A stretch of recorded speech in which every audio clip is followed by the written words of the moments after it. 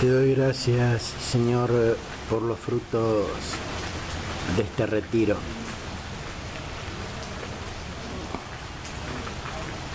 Te doy gracias por haber conocido a los cooperadores parroquiales de Cristo Rey